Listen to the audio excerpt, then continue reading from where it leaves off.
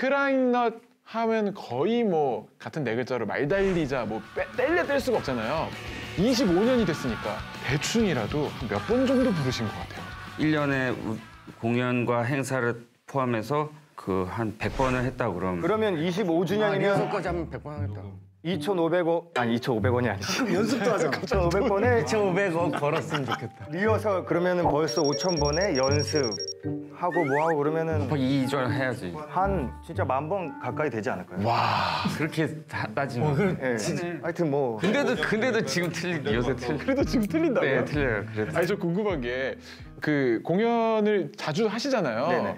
뭐 최근에 코로나를 제외하고도 자주 하실 때 뭐 예를 들면 이번 주말에 어디랑 어디 공연 있고 다음 주에 공연 있고 그러면 그 전에 연습을 따로 하세요? 특별한 뭐 컨셉이 있을 땐 하죠. 그때 말달리자가 샌리스트 항상 있잖아요. 네네. 그 곡도 한번 합주실을 하고 가시나요? 안낼 때가 많죠. 네.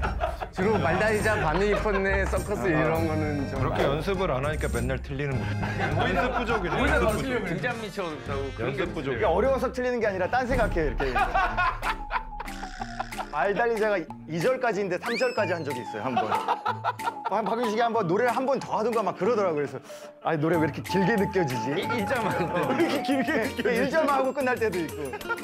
근데 요새 무대 위에서 화를 내면 진해서 내잖아요. 그냥 음 그냥 그러려니 그러고 끝날 때가 또 있죠. 거의 뭐 전도사님이네요. 네. 그냥 뭐 노래를 공연을 연습처럼. 공연을 연습처럼.